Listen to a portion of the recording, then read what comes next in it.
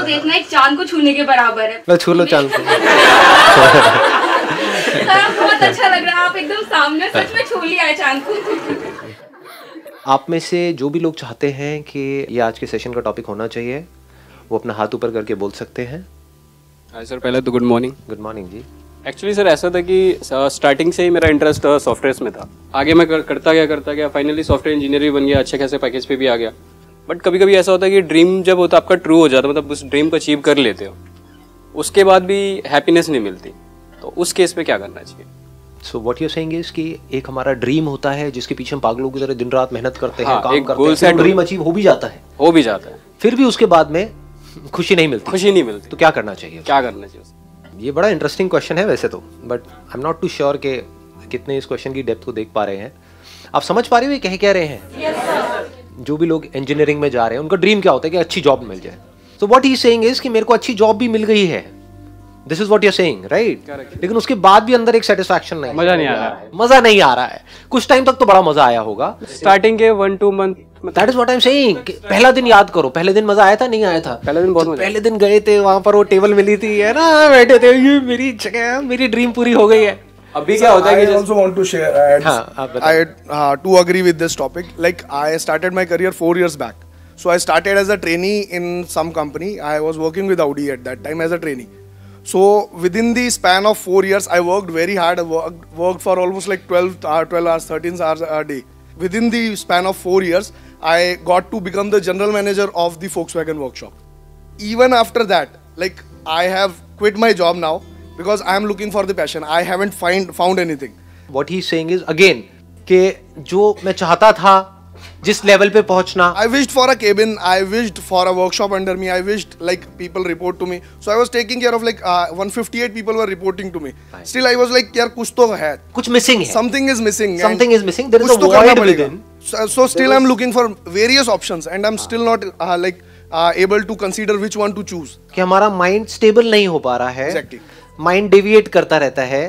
पहले माइंड ये चलता है कि मेरे को वो करना है करना है करना है करना है करना है, यही मेरा गोल है, यही मेरा टारगेट है, यही मेरी ज़िंदगी का मकसद है, इसको अचीव करना है करना है करना है। जब वो हो जाता है तो उसके बाद में नज़र आता है कि वहाँ पर कुछ भी नहीं है।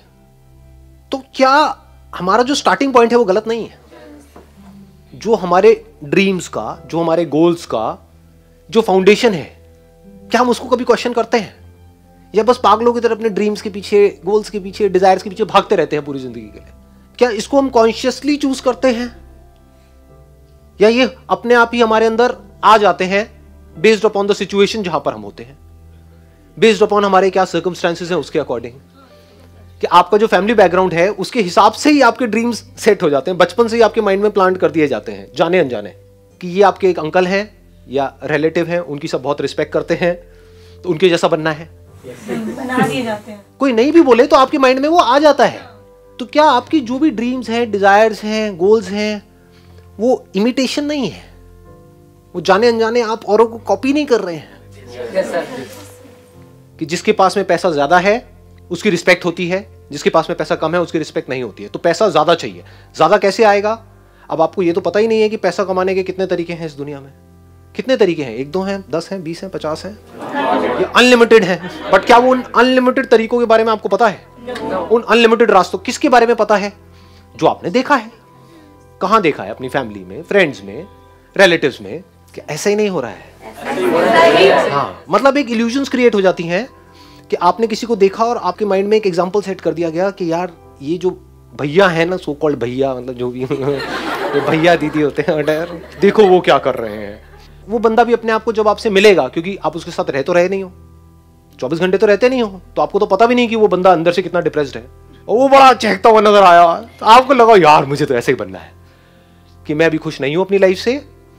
अगर मैं ऐसा बन गया, इस भैया के जैसा, इस दीदी के जैसा मज़ा आ जाएगा। मैं भी ऐसी हंसता रहूँ, खेलता रहूँ, खिलखिलाता रहूँ। अंदर से आपको नहीं पता उसकी क्या हालत है। तो ये सब ऊपरी ऊपरी लेवल पे नहीं हो रहा है। तो डीपली तो कभी हमने बैठ करके समझा ही नहीं कि हमारी खुद की पर्सनालिटी क्या है? मैं अंदर से क्या हूँ? मैं क्या करना चाहता हूँ? मैं क्या बनना चाहता हूँ? मेरे लिए क्या सही है? ऐसा तो कभी बैठ के सोचा ही नहीं। ना आपने खुद ने, ना किसी और ने। तो होता क्या है, ये एक ऐसा पाथ है जिस पर आप चाहे कुछ अचीव करो या ना करो सेटिस्फैक्शन नहीं मिल सकती। ये सबसे पहला स्टेप होता है जिसको हम कभी भी सीरियसली नहीं लेते हैं। और अभी आई होप कि आप में से बहुत सारे लोगों की शादी नहीं हुई है। कितने हैं जो बचे हुए हैं अभी तक? हाँ सब बचे हुए हैं। सर आपने मैंने कहा जल्दी किया नहीं तो क्या होता?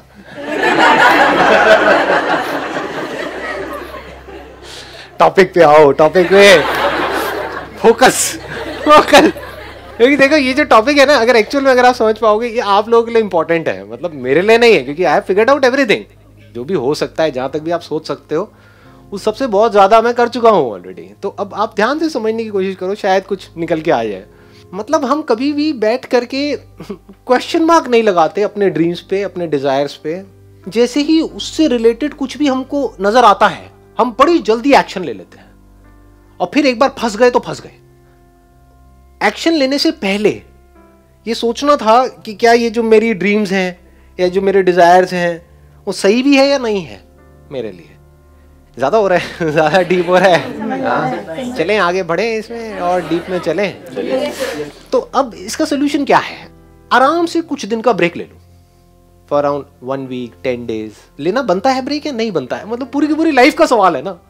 What is at stake your life is at stake break क्यों लेना पड़ेगा? क्योंकि अगर ब्रेक नहीं लेते और उसी सिचुएशन में घूमते चले जाते हो तो आपका जो एक्शन होगा, वो बताऊँ कैसा होगा? मुझे बताना इफ़ आई एम राइट और रॉन्ग इमीडिएट जो आपकी लाइफ में प्रॉब्लम्स है, बस उसका सोल्यूशन निकालने के लिए आप एक्ट कर रहे हो।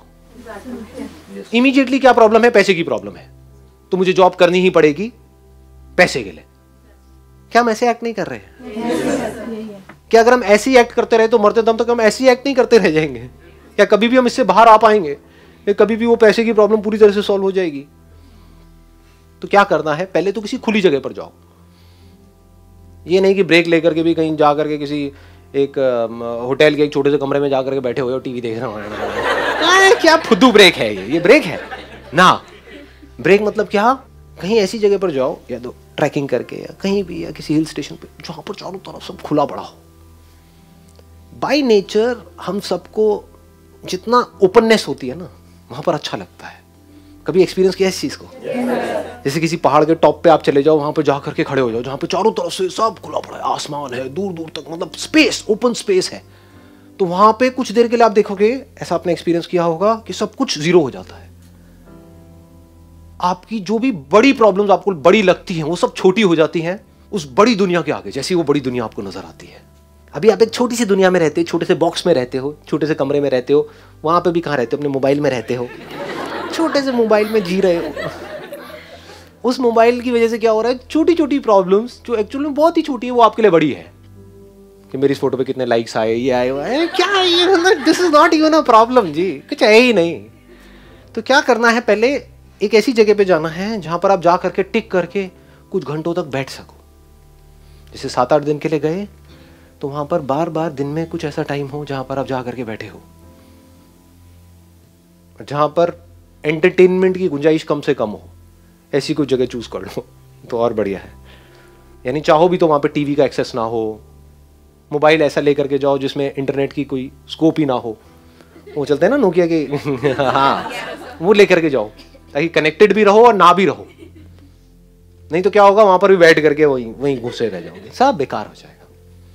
The guys really want to know मतलब ये, इसमें मज़ा आ रहा है या ज़्यादा लग रहा है? पता नहीं इन सब चीज़ों में किसका कितना इंटरेस्ट है बिकॉज़ जहाँ तक मैं समझ पाया हूँ लोगों को हर एक को ये होता है कि यार ये सब बातें छोड़ो आप इमीडिएटली बताओ मुझे। क्या करना है? सब ये Immediately तो कुछ मिलता ही नहीं। कुछ नहीं मिलता है। इमीडिएटली बिल्कुल ऐसा होता है जैसे कोई कुत्ता है भूखा है उसको हड्डी दी चल भाई खा ले। सुनने में कड़वा लगेगा। बस इतना ही होता है। तो मैं क्या कह रहा हूँ अगर आपको इंसान बनना है तो उसका क्या रास्ता है? मैं उसकी बात कर रहा हूँ। Just feel the oneness with everything just see the magnitude of this universe मतलब देखो एक बार और फिर आप जब देखोगे तो क्या होगा, आपकी जितनी भी प्रॉब्लम्स हैं, जो भी कुछ है ना छोटी मोटी वो सब एकदम से उड़ जाएँगे।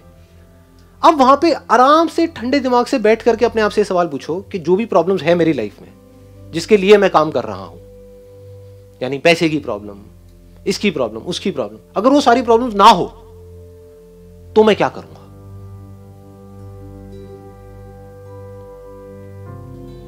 If money is not a concern for me then मैं क्या करूँगा? अभी जो भी आप कर रहे हो, क्या उसका कनेक्शन पैसे से नहीं है? yes. सोचो, आराम से सोचो। कि पैसा ही उसकी स्टार्टिंग पॉइंट नहीं है। मैं स्टार्टिंग पॉइंट ही बदलने की बात कर रहा हूँ। फाउंडेशन ही बदलने की बात कर रहा हूँ। ये फाउंडेशन ही गलत है। If money is not a concern for me पैसा मिले या ना मिले, अब मैं क्या करूँगा just stay with this question because इससे इंपॉर्टेंट और कुछ है नहीं। What is it that I deeply want एक बार को मैं उन सबको छोड़ देता हूँ, जो भी मेरे ड्रीम्स हैं डिजायर्स हैं, जो भी मेरे अंदर फ़ीड कर दिया गया है, जाने अनजाने, इधर उधर से सब तरफ़ से। डीप विद इन क्या है ऐसा? सबके अंदर कुछ ना कुछ होता है जी।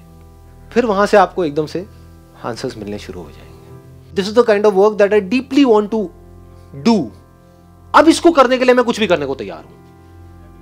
तो अब उसके लिए जो टॉर्चर होगा आपका, उसमें भी आपको मज़ा आएगा। और अगर ऐसा आप नहीं करते, ये काम जो करने वाला है सबसे इंपॉर्टेंट ये कभी करते ही नहीं हो, और सिर्फ़ चलते चले जाते हो, वैसे ही जैसे सब चल रहे हैं तो क्या होगा? आपको अगर बहुत पैसा भी मिल जाएगा, कोई ऐसा काम करने के लिए जो आपको पसंद नहीं है तो ऊपर ऊपर लेवल से आप दिखा सकते हो कि मैं बड़ा खुश हूँ। डीप विद इन कुछ होगा ही नहीं। अंदर से सब खाली का खाली होगा। अंदर से डिससेटिस्फैक्शन होगा। Because you don't love the thing that you are doing तो वहाँ पे सेटिस्फैक्शन कैसे मिलेगा जी? गड़बड़ क्या हो जाती है? हमारा दिमाग बहुत ही कन्फाइंड है, बहुत ही एक लिमिटेड दायरे में सोचता है। तो जैसे ही मैं ऐसा कुछ भी बोलूँगा, आपके माइंड में क्या आएगा? बट वहाँ से पैसा नहीं आएगा। हो सकता है जो आप अभी काम कर रहे हो, वो पीनट्स हैं उसके आगे जो वहाँ से आ सकता है। हो सकता है उससे लाख गुना ज़्यादा पैसा आ सकता है। बट आपको पता नहीं है कि कैसे आएगा। ये आप बोलो तो सही है। आप गलती क्या करते हो? यहाँ पर भी क्या बोल देते हो? ये मैं कर तो लूँगा, लेकिन यहाँ से आएगा ही नहीं। मतलब क्या है कि जो मैं कर रहा हूँ, वहाँ से आएगा? मतलब क्या है कि मुझे बदलने की ज़रूरत नहीं है? कुछ भी चेंज करने की ज़रूरत नहीं है, मैं अपने कंफर्ट जोन में ही चलता चला जाऊँगा।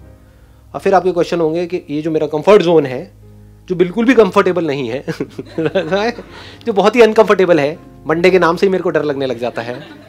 फ्राइडे को मेरे को मज़ा आने लग जाता है। अब मैं यहाँ पे खुश कैसे रहूँ? कैसे खुश रहोगे? आपको ही फिगर आउट करना है। कोई और आकर के आपको नहीं बता सकता है कि आप क्या करो, कि आपके लिए क्या सही है। हो सकता है वहाँ पर आप जाओ और जा करके ये भी हो सकता है। देखो, इसका मैं एक और साइड भी आपको दिखा रहा हूँ। ये भी हो सकता है कि आप वहाँ पे जाओ, एक हफ़्ते के लिए सब कुछ छोड़ छाड़ के आराम से बैठो। आपको यार सब कुछ सही तो है। मुझे कुछ भी बदलने की ज़रूरत नहीं है। सर लेकिन हमें ये फ्रीडम अपने घर पर ही चाहिए क्योंकि जनरली लड़कियों को अकेले बाहर बहुत कम जाने दिया जाता है। टेरेस भी ठीक है टेरेस टेरेस भी बड़ा सही है मतलब टेरेस पे भी अगर आपको कोई ऐसी जगह मिले जो इतना सेफ़ हो मतलब कि ऊपर टंकी के ऊपर वहाँ पे चढ़ के करके हाँ। देखा नहीं है मूवीज़ के अंदर। खुली जगह हो मतलब आपके सर के ऊपर पूरा खुला आसमान हो दूर दूर तक आपको एक ओपननेस नज़र आ रही वहाँ पे बैठो आराम से तो माइंड ऑटोमेटिकली ज़ीरो हो जाएगा। उस टाइम पे आप यूज़ करो उस टाइम को जब माइंड पूरी तरह से एक, एक तरीके से आप कह सकते हो एक ऐसा कंप्यूटर बन जाएगा आपकी जो ब्रेन है जो अभी अभी फॉर्मेट हुई है। अभी कैसी है हमारी ब्रेन हैंग हुई पड़ी है। मैं बात क्या कर रहा हूँ अपनी ब्रेन को कैसे फॉर्मेट किया जाए? एकदम से माइंड ढह गया। अब आप क्या कर रहे हो आराम से बैठ करके अपने आप से क्वेश्चन पूछ रहे हो मिडले लाइफ में सबसे इंपॉर्टेंट क्या है? हो सकता है जवाब ये मिले कि जो भी मैं अभी कर रहा हूँ या कर रही हूँ, वो सब कुछ परफेक्ट है। सिर्फ़ मेरी देखने की नज़र ही खराब है। ये भी हो सकता है। हो सकता है कुछ करने की ज़रूरत ही ना हो। मतलब आप ऑलरेडी एक ऐसी जॉब कर रहे हो, आपकी जो पर्सनालिटी है, वो ऐसी है, जहाँ पर आपको बहुत ज़्यादा टेंशन नहीं चाहिए। आपको एक ऐसी जॉब चाहिए जहाँ पर के बहुत ज़्यादा पॉलिटिक्स ना हो, जहाँ पर बहुत ज़्यादा कोई ऊपर जो बॉस है, वो थोड़ा ठीक ठाक हो। तो हो सकता है वो सब ऑलरेडी आपको मिला हुआ है। लेकिन आप ज़बरदस्ती परेशान हो। तो जब माइंड ब्लैंक हो जाएगा कुछ देर के लिए तो उस टाइम पे अंदर से एकदम से निकल करके आएगा, अरे, सब कुछ सही तो है। कुछ ज़रूरत ही नहीं है कुछ करने की। एवरीथिंग इज़ फाइन मतलब इस इल्यूजन से भी बाहर आ जाओ कि कुछ करना ही पड़ेगा। यानी आपकी एक रिलेशनशिप है किसी के साथ में। आपका हस्बैंड है वाइफ है, अभी तो नहीं है, लेकिन जब फ्यूचर में होगा तो हो सकता है आप बहुत दुखी हो अपनी लाइफ से। कि पता नहीं क्या है क्या है, ये है आप जब ऐसे बैठो खाली में, आप कहोगे, अरे, सब कुछ सही तो है। असली जो काम होगा ना, ऐसी जगह पे जाने से या वो करने से, क्या होता है? दिमाग खुल जाता है आदमी का। अभी जो हमारी सबकी लाइफ की जितनी भी प्रॉब्लम है, उसकी जड़ क्या है? दिमाग बहुत ही कन्फाइंड है। बहुत छोटी सोच है। छोटी सोच में हम जाकर के फंस जाते हैं और खुद ही दुखी होते हैं। एक्चुअल दुखी होने के लिए कुछ है नहीं, क्योंकि we are all human beings human beings के पास में इतना पोटेंशियल है, इतना पीछे से इंफॉर्मेशन है, उस इंफॉर्मेशन को यूज़ करके कुछ भी किया जा सकता है। फिर भी हम स्टक हो जाते हैं। क्यों हो जाते हैं? माइंड स्टक हुआ पड़ा है। तो सारा जो खेल है, वो है दिमाग खुलने का। दिमाग ऐसी जगह पे जाकर के खुलेगा और जैसे ही खुल जाएगा, उसके बाद में आपको सब कुछ नज़र आने लग जाएगा।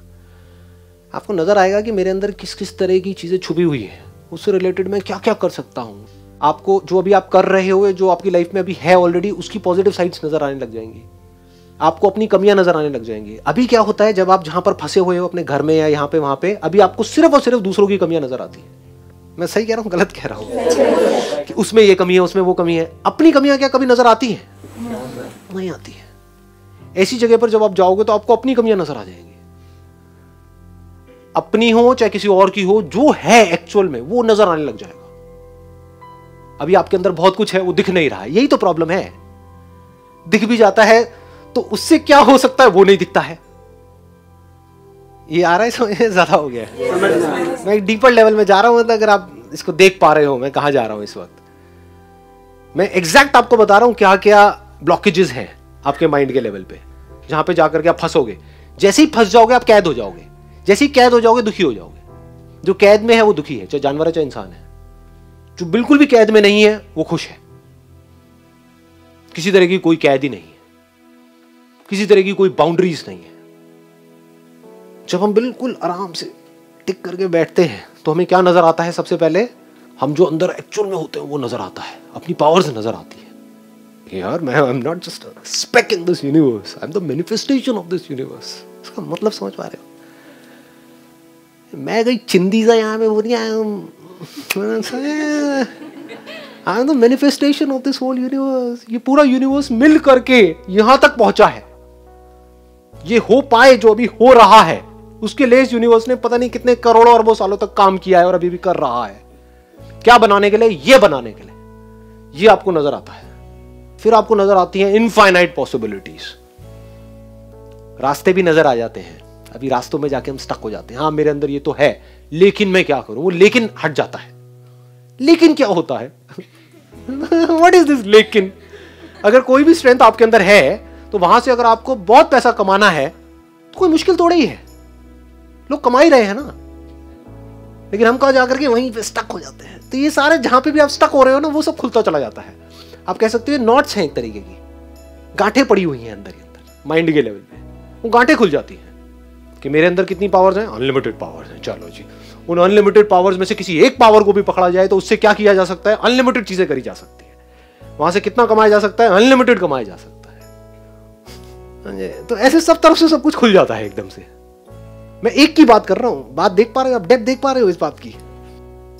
अनलिमिटेड पावर्स उसमें से एक को पकड़ो, उससे अनलिमिटेड पॉसिबिलिटीज उन सब पॉसिबिलिटीज में से किसी एक पॉसिबिलिटी को पकड़ो, उससे अनलिमिटेड स्कोप ऑफ़ ग्रोथ कहीं कोई लिमिटेशंस है ही नहीं, नज़र ही नहीं आती है। सारी लिमिटेशंस यहाँ पड़ी होती है। जैसे वो टूट जाती है, फिर आप धीरे धीरे धीरे आगे बढ़ने लग जाते हो। छोटे छोटे स्टेप्स उठाते हो, फिर आगे बढ़ते हो, फिर आगे बढ़ते हो।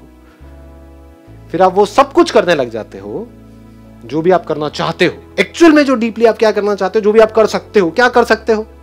जब अगर माइंड खुल जाए तो। अगर माइंड बंद है तो कुछ नहीं कर सकते, यही कर सकते माइंड खुल जाए तो हम क्या कर सकते हैं? कुछ भी कर सकते हैं। तो आप कुछ भी करना शुरू कर फिर आप भी कुछ भी कर सकते हो। शुरुआत कहीं से होती है, थोड़ा बहुत कुछ करने से धीरे धीरे धीरे धीरे, सब कुछ आपके सामने खुला पड़ा होता है। कुछ भी करो। आप पूरी तरह से फ्री हो। कोई बाउंडेशन नहीं है, कोई लिमिटेशन नहीं है।